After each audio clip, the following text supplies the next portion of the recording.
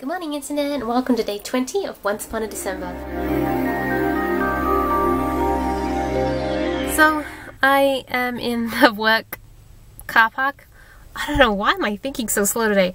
Um, I'm at work in the car park and it's the last day that I have to physically be here for this year, which is very exciting. I'm still kind of a bit tired because I stayed up kind of late having to finish off what I had to do last night. Um, and then now I have to do other stuff today which I hope I will finish within the day because otherwise it means I'll have to continue working on that. Today is a good day, not just because it's my last office work day, but it's also my dad's birthday. He and I are like a week apart. We're going to have a nice big family dinner tonight. We're kind of combining our birthdays in that sense because I mean I had my own dinner with my friends, but I usually always have one with my family as well.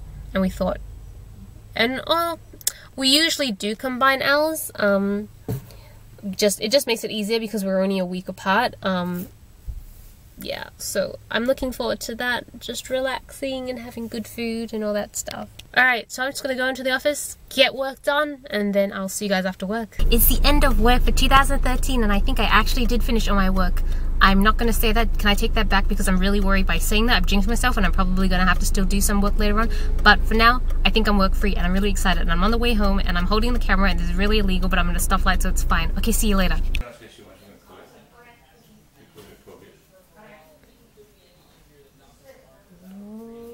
Hello, driver. Hello. Dinner. Mm. I feel like I might be coming down with something. My throat kind of feels a bit funny, and I'm really worried because I don't want to be sick on like the two weeks that I have off that I was planning so much to do. Although it just seems like my luck that that's what would happen. I'm gonna go to take a shower and then go to sleep and try and hopefully make sure I don't get sick. So yeah, hope you guys are doing well. Until then, I'll catch you guys tomorrow. Bye!